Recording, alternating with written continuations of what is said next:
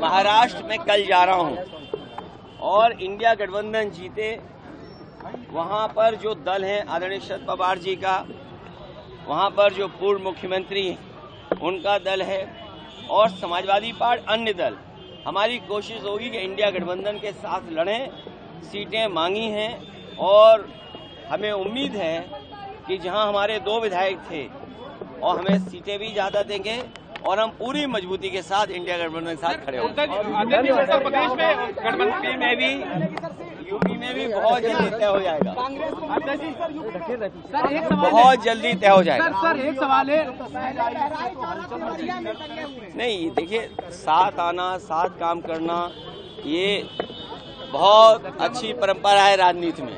Sir अब लोग तो वो घबराए हुए हैं जिन्होंने बीएलओ हटाए। पीडीए परिवार के अधिकारी हटाए। हमें उम्मीद है वो माइक्रोस्कोप से देख रहे हैं एक भी पीडीए परिवार का नहीं है। कम से कम आप अपने कैमरे से ज़रूर दिखाना। महाराष्ट्र में कल जा रहा हूँ और इंडिया गठबंधन जीते वहाँ पर जो दल है आदरणीय शरद पवार जी का वहाँ पर जो पूर्व मुख्यमंत्री उनका दल है और समाजवादी पार्टी अन्य दल।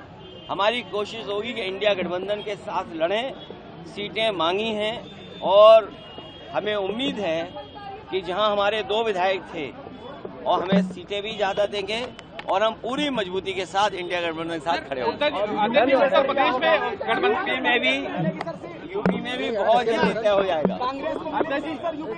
सर एक सवाल बहुत जल्दी तय हो जाएगा। सर एक सवाल है।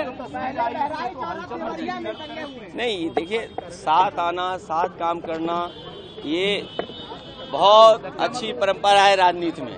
सर अब लोग तो वो घबराए हुए हैं जिन्होंने बीएलओ हटाए पीडीए परिवार के अधिकारी हटाए। हमें उम्मीद है वो माइक्रोस्कोप से देख रहे हैं एक भी पीडीए परिवार का नहीं है। कम से कम आप अपने कैमरे से ज़रूर दिखाना। अगर आप ये वीडियो YouTube पर देख रहे हैं तो हमारे चैनल को सब्सक्राइब कर बेल आइकन दबाएँ और Facebook पर देख रहे हैं तो हमारे पेज को लाइक करें।